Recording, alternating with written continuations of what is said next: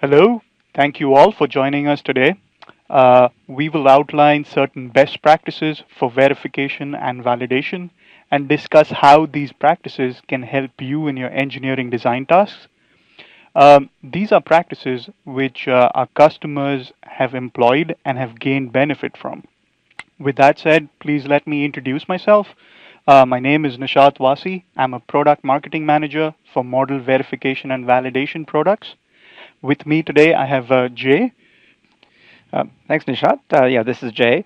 Um, I uh, am also a product marketing manager with a responsibility for MathWorks uh, code verification products, and uh, we're very excited to have you join us. And um, we'll go through this particular webinar discussing best practices for verification and validation.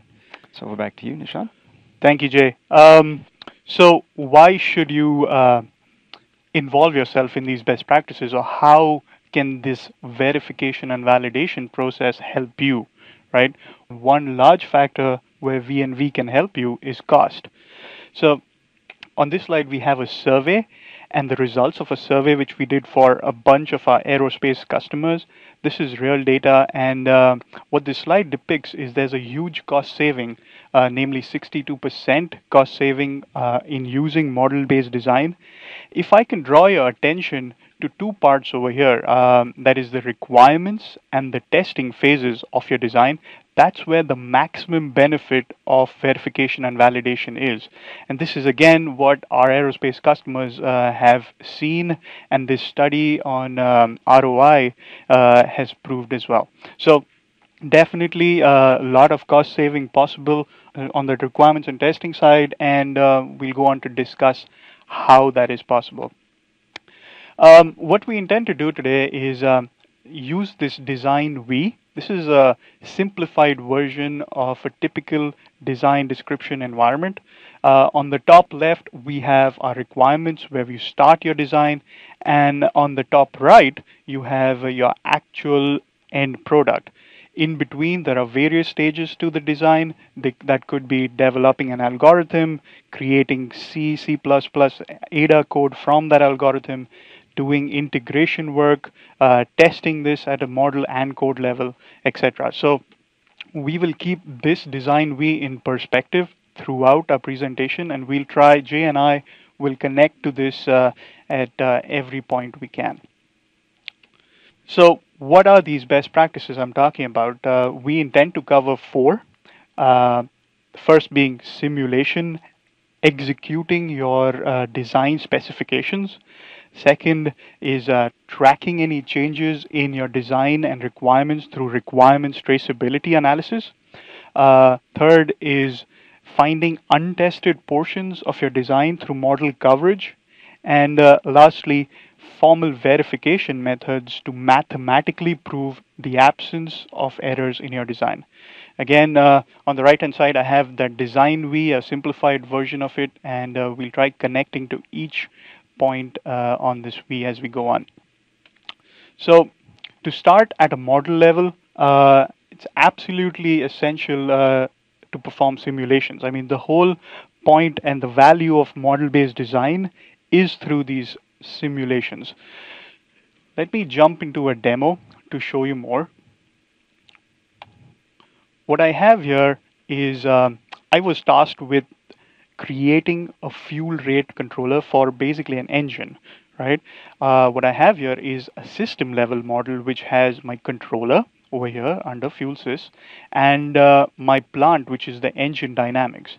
I have my entire system set up such that the controller keeps getting validated with the engine dynamics. The actual um, the actual outputs are keep are fed back in a closed loop as you can see over here. So what what does this uh, system do? What it does is it it gives me the controller gives me a particular amount of fuel which the which is input into the engine and at the output of the engine I measure the air to fuel mixture and feed that back into my control algorithm.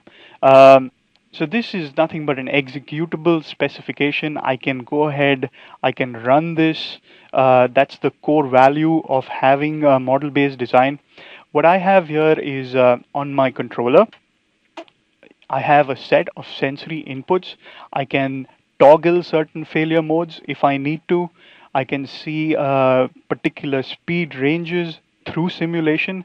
Again, I'm trying to exercise my model as best I can with how many ever scenarios possible, right? And that's the uh, entire value of uh, performing this verification step. Now, what I'm going to do is uh, I'm going to log certain signals. So I'm going to log the metered fuel output of a controller, and I'm also going to log um, the ratio, the, the ratio of my air to fuel mixture at the end of my, um, my, my plant. So a key part of simulation is uh, having the capability of logging these inputs and inspecting the signals in simulation. So what I'm doing is I'm bringing up a viewer, a signal viewer, if I may call it that.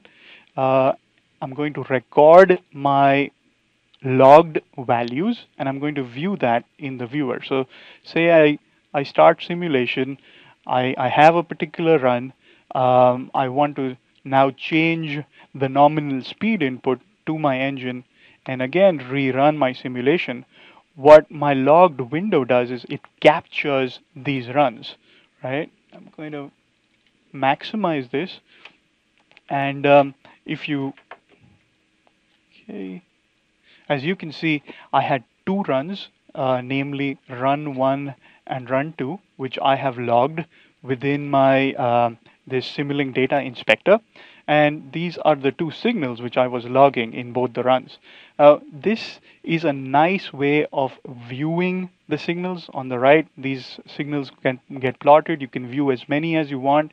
You can compare uh, your signals which you have logged against uh, two simulation runs. So say I want to compare the outputs of uh, the first run with the second one, right? When uh, I had a nominal speed input and I had a high speed input. I can do that comparison quite easily and uh, have the plot show up in terms of what is what was what were the signals what is the difference what is the tolerance value between the two signal runs now uh, another common task is you've created your you've created your simulations. Uh, I mean, you've created your entire system, your plant model controller. Um, you may also want to bring in some of the expected outputs. So uh, Simulink allows you to do that. I'm doing file import. In my particular case, I have a MAT file. Uh, basically, I have data stored uh, in terms of expected outputs. I know that I am interested in these two particular logged values and I am getting an expected output uh, which I had pre-saved in a MAT file. This could be, you can import this from an Excel file, any empirical data which you may have, basically get this expected value in and see how this compares against your simulation runs. I'm going to hit OK and um, you will notice that there's a third run which was populated over here going to zoom in here which says imported data and I'm going to compare now my first run that's my first simulation run against uh, any imported data. As you can see uh, this gives me a great way of validating whether my uh, system behaves as expected against its expected values and so on. Um, so this again the key part is simulation. Um, using or simulating your system uh, with all the possible test scenarios. Sometimes you can use test scenarios which might not be stable or uh, you cannot use them on your actual hardware. Simulation provides you, uh, of course, with that benefit. With that said, I'm going to come back um, to my presentation. Uh, a brief recap, you can model linear and nonlinear systems within Simulink. Uh, test these basically stimulate it with any input vectors which you desire, bring it in from outside, uh, and analyze the results. So the key is having an executable specification in that case, which helps you uh, compare and uh, contrast your different runs. Um, moving on, the next best practice is tracking changes in your design. You know, uh, if you're involved with any engineering design task, usually things change. Nothing is set in stone, however much we may like it. And uh, tracking these changes and trying to manage these changes as best as possible can save a lot of time, energy. Um, Simulink verification and validation is a product within our Simulink suite which allows you to link any model element or Stateflow chart to particular lines of uh, requirements outside of the Simulink environment. So you can link anything from within Simulink to an external requirement document. Now, you can not only link from Simulink to that document, but you can link backwards as well. So you can have a link which goes from that external requirements document back into Simulink. This is useful because you can track any uh, requirement change, and I'll show you how in just a minute. I'm going to escape out of this, um, come back to my MATLAB environment what I had uh, earlier shown you was an entire system model with a plant and controller. I'm going to click into the controller model. As you can see here, this is uh, the basic logic, which is a Stateflow chart under the hood, uh, which is running my controller. I, in, in the interest of time, I have linked uh, parts of this model with an external requirement document uh, it's very easy to highlight these links. Uh, let me zoom in here. Under the tools menu, I had a requirements option, and these are a bunch of options which come with this requirements traceability feature, which we uh, have in Simulink verification and validation. I'm going to go ahead and highlight my model. So what this will do is um, it will and go through my model and figure out what parts of it have a requirement associated with it every part which has a requirement associated is uh, highlighted in orange uh, as you can see over here. So for example, this throttle input port, if I were to, you know, if, if someone were to ask me, Nishaat, what is this linked to? I right click, go to requirements, and if I hit throttle sensor, what this does is it brings up my requirements. In this case, my requirements document is a Microsoft Word uh, document and uh, it actually goes and links it's it go, it opens this document up if it was not open for you and it would highlight that particular requirement which I have associated by linking it uh, to any model element. Now in this particular case I can um, link backward as well. That is an option which I uh, have enabled it's up to you if you do not want to modify your requirements document, which certain customers do do not. They do not want to touch their document. You can um, have just a one directional or unidirectional link. So in this case, uh, I could link back as well. Uh, as you can see, another requirement was linked to my uh, input port called MAP. Uh, I can have multiple linkages within the same document, so multiple links going to and from uh, an external document to the Simulink environment. So, Nishaat, if I could interrupt you for, for a moment. Uh, so, what external documents can you connect an element of a model to? Uh, for example, you showed uh, MS Word in this particular case. Uh, what uh, know, are the other supported documents? So that's a great question, Jay. Uh, thank you for that. Um, out of the box, uh, Simulink verification validation uh, can support uh, MS Office, that's Microsoft Word, Excel, and other things. It also supports certain requirements management interfaces like DOORS, IBM Rational DOORS, um, and we provide an API. So if you had um, a new type of document, if you had something called j.abc, uh, which ABC is your custom document type, mm-hmm. we can provide, uh, you can use this API to link to any custom document type as well. Nice. Uh, it's easy enough to do. Great, thank you. Thanks, Jay. Um, let's go back to the slides. I have another example which I'm going to do through Slideware.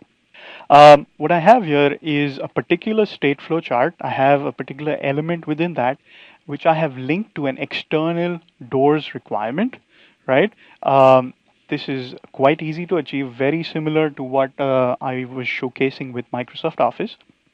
Now, the requirement traceability gives you an option um, to export your model structure into the DOORS environment. So if you are interested uh, in having a traceability matrix, this is possible using this tool. I have exported my uh, model into the DOORS requ uh, requirement infrastructure over here. Uh, sorry, the management interface. Um, now, this is useful because what if something were to change, right? What if a requirement, a customer says that no, you know what, Nishaat, I don't want a 0.6 over here. Um, I, I don't want a 0.5, which was my original uh, requirement specification. I want to change this value to 0.6, right? Now, here's where the requirement traceability really is effective and can help you because you have the model structure already exported in a traceability view or even so you can just simply click on that requirement which is changed and navigate to a model element. So that is definitely useful. Uh, my next step would be to create a new version of this model make that change which was uh, which the customer asked me to make and create a new version. I'm calling that version 1.1 now the cool part is uh, if I had this traceability view, I could also have that requirement associated with test plans, right? Which ever so hap- uh, often happens. And using traceability in these test plans, I can trace which particular test case is going to be affected by a requirement change. So I can go back into my test case scenarios, which are I have designed in Simulink, and trace back to the test case which I need to rerun to validate whether my requirement uh, did not create issues within the model. So I can, instead of going and running uh, the entire battery of tests again, I can be very specific and figure out uh, what test should change, what test has changed, and go and uh, uh, only revisit that topic. Um, quickly, uh, another thing is um, comparing these versions. Since I compared these two, uh, since I created a new version of a model, uh, configuration management sometimes requires me to compare these two versions, tell me what changed, and uh, we have the capability to do that as well. You can merge any model changes. Uh, this is possible because we use uh, an XML file comparison and uh, you can merge uh, changes which you may have made. Again, the, the reports which, are, which could be generated can be used for um, configuration management artifact reporting, um, which are useful in certain standards and uh, certifying code for certain standards. Um, so Jay, did I, do you think I missed anything or? Well, so yeah, there was one kind of follow-up question I guess I had. Um, so it's great to see the um, traceability uh, capabilities there, but what about um, you know reporting capabilities? Uh, especially, I think you know for in high integrity systems, uh, for certification purposes, it might be necessary to, to generate artifacts and reports that you can submit to you know various certification authorities. Okay, again, that's a great question, Jay. Um, so I, I, didn't show that in my demonstration, but uh, yes, we have the capability to generate reports of requirements traceability reports where you can link. Uh, I mean, it shows you all the link information mm-hmm. for a particular model. Uh, it also builds or drags the description of the requirement into this report. So you could use that report for uh, certification. And yes, our customers have been doing that. All right, great. Thanks, Thanks. Jay.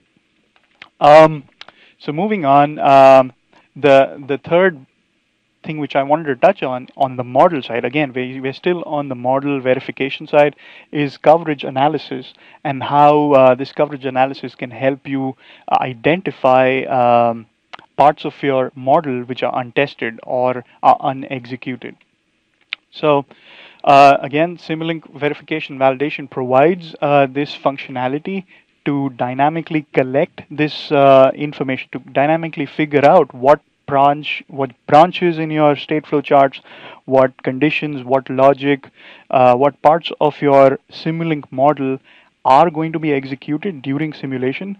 Uh, you can view the results either through an HTML report. Uh, as Jay was saying, this is this could be used as an artifact as well, or you can view the results of this coverage on the model itself. So there is a you can highlight the model with this coverage information this gives me an idea and insight as to what parts of the model uh, were covered or will be executed during simulation and what will not. Um, let me dig into a demo to show you uh, what that looks like. So I'm going to clear my system. Um, now what I'm going to bring up is basically the, the same controller which we uh, we showed you before, the Stateflow chart, which is controlling the fuel systems control logic, basically the fuel rate controller. And um, what what I can do is I can generate uh, a harness model to test this controller for model coverage. So I'm going to do SL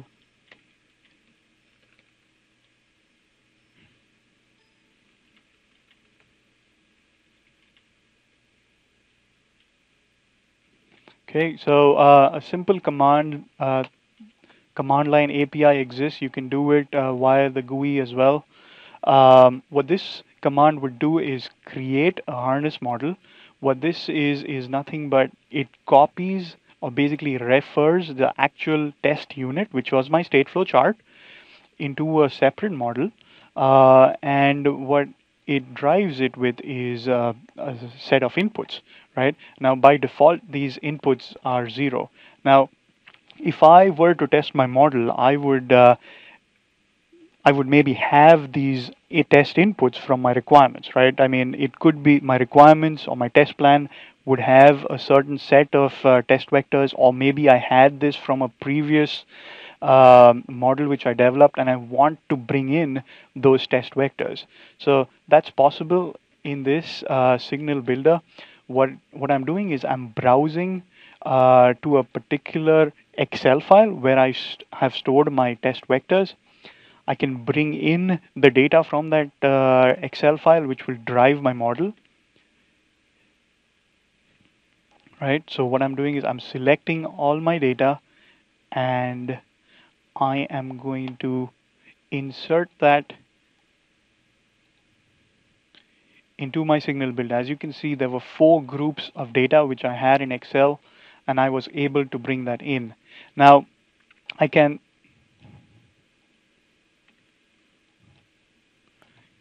okay, I can analyze the model coverage uh, for this particular test.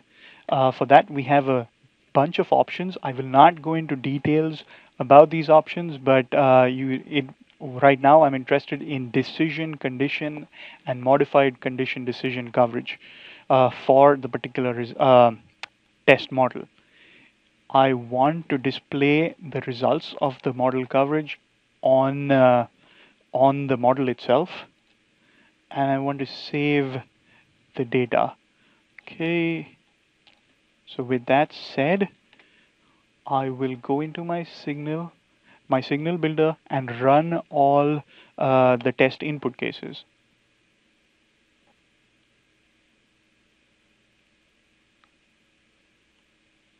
Okay. So what this did was it brought up an HTML report which says, uh, okay, in my particular test unit, what parts of the model were covered, what was not, what is the amount of decision, condition, and MCDC coverage, available. Um, it highlights uh, parts in red where it found that uh, this particular transition, which I'm talking about here, speed greater than max speed, it has links as well to the Stateflow chart. Um, so it tells you which transition it's talking about. In this case, it's this particular one. And it tells me a little bit more about the coverage associated with it. Now, um, so let me zoom out again this uh, this information I highlighted on my model so uh, it's not you can see that the greens indicate things which were covered. The red uh, is basically uh, transitions which were not executed during my uh, simulation run of all these test cases. So I had a bunch of test cases uh, and you know I, I go I study how much the how much of the model was untested now I can use formal methods or uh, formal techniques to figure out what other test cases are there which would test the other currently untested portions of my design, right? Um, in order to do this, what I can do is I can build on these test cases which I already have. Let me close this out.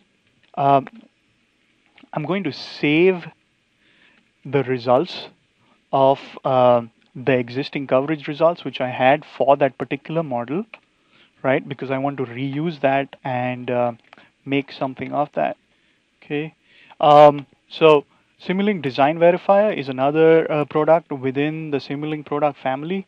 Uh, what this does is it allows you to generate tests to uh, to achieve full coverage, or uh, it'll use formal methods under the hood uh, to figure out what parts of the model are uncovered and uh, try to create tests for you, automatically generate these test vectors for you.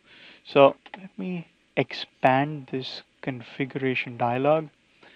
I have a bunch of options uh, I can generate tests for. Again, this is automatic test generation at a model level.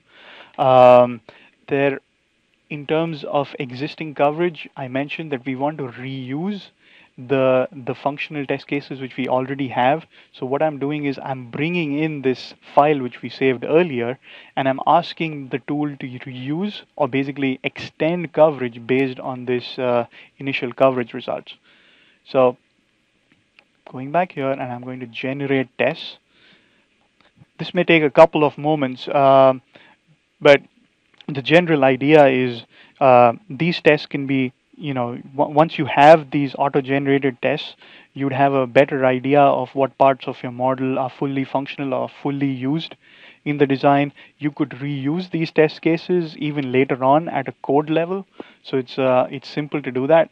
So okay, so it's done. The analysis is done. What what this uh, analysis did was it created a new model, right? It created a new model with uh, a set of test inputs right? Uh, in this case, I believe there are 20 odd test cases, 22 test cases. And what I wish to do now is combine these test inputs with the one ones which I had earlier. So I'm going back to my uh, window, command window over here.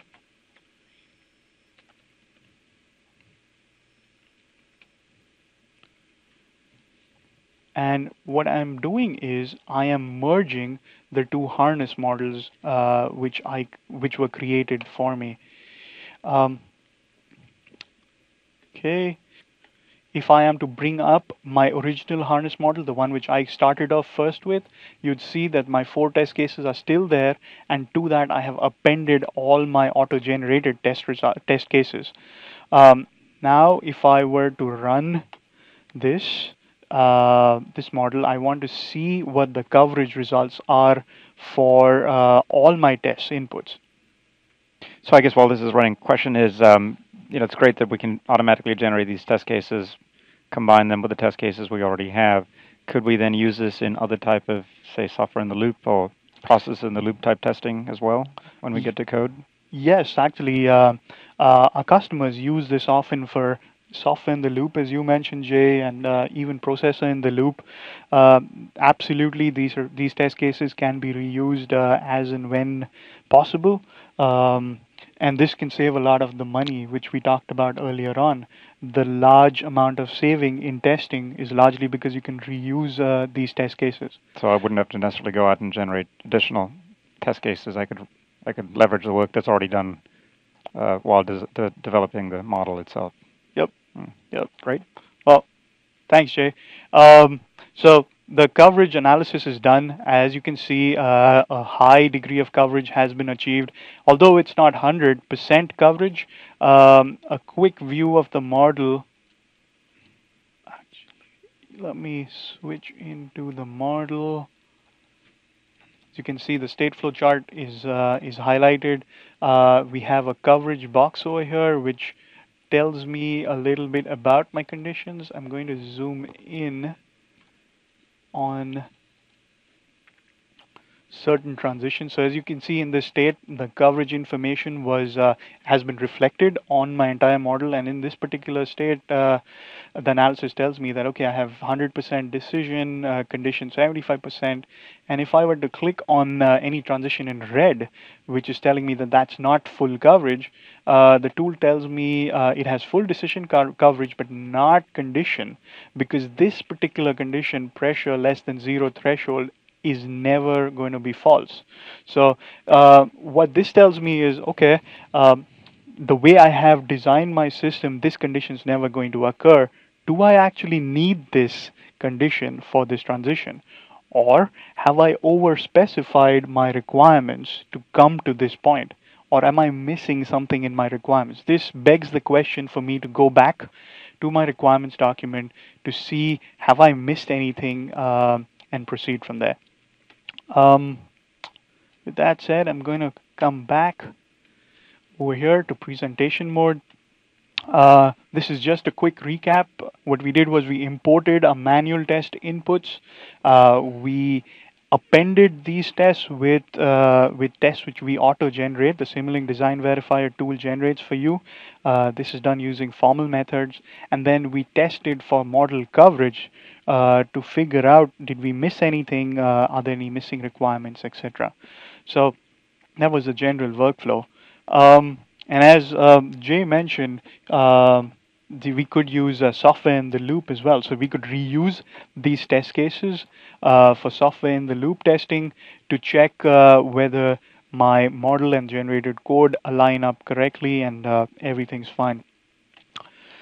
Okay, um, so this brings us to our fourth best practice, which is formal methods uh, using uh, mathematical techniques to prove the absence of errors. Um, so at a model level, again, I'm still at a model level. Uh, we can use uh, Simulink Design Verify as a tool which uh, can automatically identify uh, certain errors like dead logic, division by zero, integer overflows. It can find these errors at a model level itself and reflect these uh, through color coded results on the model. So the green uh, indicates uh, parts of a model which are fine, and the red indicates um, possible overflow conditions. Uh, in this particular case, it's an overflow condition, but it could be uh, dead logic, division by zero, etc. Uh, again, it uses basically abstraction techniques uh, to figure out. These are formal techniques to figure out uh, if your model behaves as expected. Um, so, with that said, um, coming back to this V over here. Um, so Jay, what do you think that is this uh, all that is needed? You know, this model verification which I've shown so far. Uh, yeah, so that's a that's a great lead-in. Um, so you know, as as Nishaat has shown, you know, there are various techniques that we can apply at the model level um, to you know ensure that you get to a very robust design that conforms to specifications. But at some point, you have to get to code. Uh, and uh, once you get to code, depending on the type of uh, system you're developing, uh, various types of verification uh, activities are needed to ensure that the code is also correct and robust. So this gets to um, you know the bottom and the right hand side of the V model that we have here in on this slide. Now for the for the code generation aspect, we've got the embedded coder products that can generate production quality code. And then once you uh, are ready to, to verify the code, you get into the uh, code verification uh, tasks on the on the various code components that you have. So um, you can also apply formal methods on the code using uh, static code analysis techniques uh, to ensure that the code is robust. Uh, and these techniques are actually very powerful. So once you get into code, you're looking at code that has um, algorithms, um, there might be computations, there might be array accesses, and so forth. And using these formal methods based static code analysis techniques, you can actually uh, prove that your code, for example, will never overflow when you have that operation uh, C equals A plus B. If you have uh, arrays and you're accessing those arrays, again, you can ensure that uh, the accesses to those arrays will always be within the array bounds. If you're doing any type of pointer manipulation with your C code, again, you can ensure that there will never be an illegal dereference causing the program to crash. And then, especially when you get into complex mathematical algorithms that have computations with multiplies, additions, divides, and so forth, this is where you would need to, to ensure that uh, you wouldn't have divide by zero conditions, overflows, underflows, and so forth. And again, these, these type of techniques uh, can actually prove that these type of bugs do not exist in your code. So to assist with that, uh, the MathWorks has a product called Polyspace. And Polyspace is a formal methods-based static code analysis tool. And it can help you exhaustively to verify your code. and uh, it can uh, detect as well as prove the absence of these runtime errors, essentially ensuring that the code that you've either generated uh, and integrated with other code is uh, very robust. It also does a very good job of determining uh, variable ranges and then propagating this through uh, the analysis. And as you can see the, on the graphic on the right-hand side, we're sticking to this color coding scheme that um, Nishaat had shown before on the models. So we in a, in a very similar fashion, apply this to the code as well, where we can identify those aspects of code that are reliable. We paint that in green. When we detect a problem, that's painted in, in red. Dead code, code that's unreachable is colored in gray. Code that's not proven to be safe is colored in orange. Now, we also support um, uh, code compliance checks for standards such as MISRA and JSF++, and these are colored in purple, as you see on the graphic. And then finally, one thing to point out is that uh, again, we're keeping very accurate track of the variable ranges, and you see in that tooltip, uh, the variable ranges can be displayed very easily as well. And uh, we support languages such as C, C++, and Ada. Uh, we integrate with uh, Simulink so that you can run Polyspace directly from Simulink itself, and I'll show you a demonstration of that. So here's a quick example of how we prove the absence of runtime errors. So here's uh, some uh, source code um, for a, for a rather simple function, a function called new position. It has a couple of input parameters, sensor position 1, sensor position 2, and then there's some algorithmic um, content within that function itself. Now, one of the things you notice here is that everything is colored in green, indicating that Polyspace, you know, using Polyspace, we've actually proven uh, that this code is safe, is very reliable. Again, imagine if you're in a certification process where you have to do some code review, you can now take these color-coded results into that code review to show uh, you know your peers, your, ma- your, your manager, your certification authority uh, that the code is proven to be free of runtime errors. Uh, let's focus in on this one particular uh, uh, area where you, you might have some concern, and that is uh, where we're doing this divide operation. So in this particular case, if x is equal to y, uh, clearly a divide by zero will occur. Now, in this particular case, we see that Polyspace has colored this in green indicating that the divide by zero will not happen. So you might be curious to know as to why that is the case. So let's let's kind of understand why. So if we um, look at the variable range of x, uh, it turns out that x will always have the value 10 when you get to this line of code.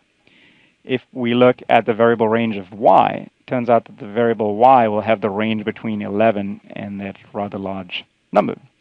So as you can clearly tell, there is no overlap between the ranges of x and y. So x can never be equal to y, and therefore the divide by 0 will not happen. Now we're doing this exhaustively. So with Polyspace, we're actually looking at the full range of that sensor position 1 and also the full range of sensor position 2. So mathematically, uh, we've been able to prove uh, that this code is indeed safe. Um, real quick to show you how we detect uh, runtime errors, here's a case where we've identified in red where a pointer dereference is actually uh, out of bounds. Now, let me come back to some of the models that uh, Nishaat was showing earlier, and in particular, let's take a look at this uh, fuel rate controller logic, and I want to actually show you a demonstration of how you can use Polyspace to verify the code uh, for this control logic. So we're going to start with the, uh, the model. We're then going to generate uh, the code for this particular model and then we, we will actually verify the generated code with Polyspace. And again, I'll show you in, in demonstration form um, how we can do that. So if we could switch to my laptop. All right, so here's uh, that model that I showed you in the presentation form. Um, here it is again in Simulink. Uh, to generate code, very straightforward. We simply go into Tools, we go into Code Generation, and then we would do uh, Build Model or Control B to generate the code. So I've already gone ahead and done that. Uh, the next step would be to verify that generated code with Polyspace. Again, very straightforward to do from Simulink. You go to Tools, you go to Polyspace, and um, you then pick uh, Polyspace uh, for embedded coder, and uh, we can go ahead and verify the code. Now, in the interest of time, i have already gone ahead and, and, completed that step. And uh, here's the Polyspace results uh, for my generated code. Let me zoom in a little bit so that you can see better here. So here's the um, the generated code. It's in a file called sldv demo logic.c. And the interesting thing you see here is that it's colored in green, indicating that Polyspace has actually proven uh, that there is no runtime error in my generated code uh, for this particular uh, model. Uh, here are the, the various functions within that uh, generated code itself. Uh, let's go ahead and, and, focus in on, on some of the um, some of the checks that Polyspace has done on that generated code. in this particular case, why don't we take a look at this out-of-bound array index that Polyspace is checking for. So again, let me zoom in just a little bit. You can see I've got some. I've got a statement here in C uh, which involves uh, an array index access. And you can see with the message that Polyspace has provided me that we've actually proven that this particular array index is uh, is correct. All right. Now let me get back to the presentation to um, go to the next phase of my demonstration. All right, so now we've con confirmed that the generated code is uh, reliable, safe from a runtime perspective. Uh, then the next step we might envision ourselves is that generated code has to get integrated with some other code. Uh, for example, driver code if we have uh, sensors that we're interfacing with, for example. And uh, once again, we need to ensure that this, this mix of generated code and handwritten code is safe and robust. Um, so that's what we'll do uh, as as a as as a as the next phase in terms of an integration uh, verification phase, where the uh, complete integrated code uh, will be verified with Polyspace. And in this particular scenario, one of the things we need to be concerned about is the interface from uh, my generated code to the, the hand code, because obviously if that interface is not well understood, uh, then there could be problems in the handwritten code that are caused by uh, the variable ranges uh, that we use in the generated code. So let's go ahead and then switch back to uh, my, my other laptop to show you the demonstration of how we can use Polyspace for this purpose. All right, so here's um, the, um, the Polyspace uh, results uh, with the uh, integrated code having been run through. Taking a closer look at uh, the Polyspace results there, you can see a couple of different functions that I'm using uh, to verify uh, from, from an integration perspective. There's my main.c, which is the main function. You can see that's colored in, in, in green, which is a good thing. Then you see a new function uh, or a new file called myfunc.c. This is the hand code. And what's interesting to me is that it's colored in red, indicating that there's actually a problem there. And then you also see the SLV demo fuelsys logic.c file, which is colored in green. That's the generated code. So let's take a closer look at as to what's going on. So obviously, uh, the hand code that I've stitched together with my generated code has some sort of a uh, runtime error in it. So I can actually go directly to that runtime error. You can see here that uh, I've got some code that's highlighted in red. Uh, and it turns out that it looks like it's a uh, array index um, that uh, seems to be problematic, um, where the, the field mode state uh, that I'm, I'm grabbing from the generated code seems to be uh, producing a, a, value that is causing a problem uh, in my hand code. So let's debug this a little bit. Uh, we see that uh, there's an informational message here that Polyspace has produced. Let's take a closer look at that. It says the array index is outside of its bounds. So I've declared an array in my hand code that has a size of 3. In other words, the range for this array is 0, 1, and 2. But then uh, this computation that I'm performing on the index, which is based on the field mode state, I'm adding 2 to it. That causes an index value that is outside of the bounds. So for some reason, when I wrote this hand code, I guess I wasn't completely cognizant of the, the ranges uh, that could be produced by the generated code, and as a result of that, I now have a uh, uh, problem in my hand code. So clearly this is something that I, I would have to fix uh, before I would proceed uh, to the next phases of uh, my verification process. So with that, uh, let's get back into the presentation again. All right. and I'm going to go ahead and hand this back to Nishant. Okay. Thank you so much, Jay. Um, so it does seem as if, you know, ha- going through this entire V&V thing uh, is necessary. That is on the model level as well as the code level, right? That's correct. That's correct. Um, it's very important to do the model level verification because you want to make sure that the model you've designed, you know, based on simulations and some of the other verification activities, that it's, you know, a functionally correct and then b robust uh, and testable. But then once you do that, you want an easy way to generate code for your model, MathWorks lets you do that with uh, embedded coder products. Uh, and then, but once you get to that generated code, uh, it's not you know it's not sufficient to, to be done at that point. You've got to do some verification activities on on the code. Um, the Polyspace product helps you do that, and then you can take it through the process of uh, integration test, and then finally through user acceptance. Okay. Well, uh, thank you so much for that. Um, so. Um, a brief mention of uh, you know we, we we've kept on saying this that these are some things our customers have been doing. And i uh, wanted to highlight a few examples on those four topics. Um, so for example um, you know please feel free to go through these uh, user stories uh, like bell helicopter uh, designs its civilian tilt rotor. We have uh, some of the automotive folks using our products for tracking designs with and requirement changes.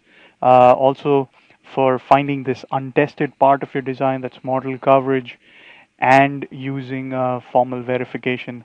Um, these are again going to be linked off uh, this presentation and uh, this presentation should be available to you uh, in a couple of days.